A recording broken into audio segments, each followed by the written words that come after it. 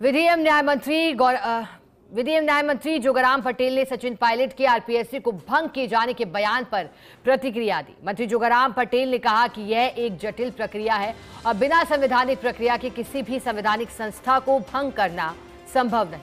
उन्होंने सीएम भजनलाल शर्मा की विदेश यात्रा को सफल यात्रा बताया।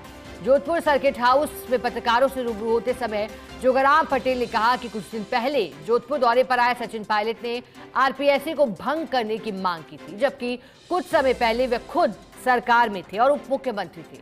साथ ही कांग्रेस के प्रदेश अध्यक्ष भी थे। उन्होंने कार्य अपने सरकार के समय क्यों नहीं किया? वे जानते थे कि इस कार्य को करने के लिए पूरी संवैधानिक प्रक्रिया को अपनाना पड़ता है और पूरे देश में आज तक केवल तीन राज्यों ने ऐसे प्रयास किए, लेकिन वे सफल नहीं हुए। उन्होंने कहा कि आरपीएससी को भंग नहीं किया जा सकता, लेकिन आरपीएससी की विश्वसनीयता बनी रहे। इसके लिए सरकार कारगर कदम उठा रही है।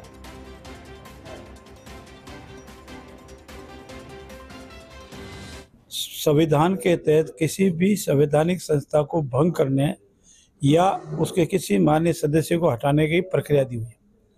वो प्रक्रिया बहुत ही जटिल है और उस प्रक्रिया के अपनाए बगैर किसी भी आरपीसी को भंग करना या किसी सदस्य को या चेयरमैन को हटाना बहुत ही जटिल प्रक्रिया के तहत है।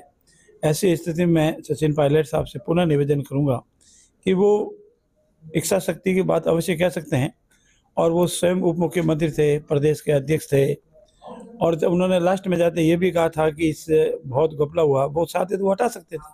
पर उनको पता था कि जटिल प्रक्रिया है। मैं पुनः दोहराता हूँ कि किसी भी स्टेट की जो आरपीसी होती है, उसके मेंबर या किसी बोर्ड को हटाने की प्रक्रिया, संवैधानिक प्रक्रिया है और बिना संवैधानिक प्रक्रिया अपनाए हटाना बहुत ही कठिन है।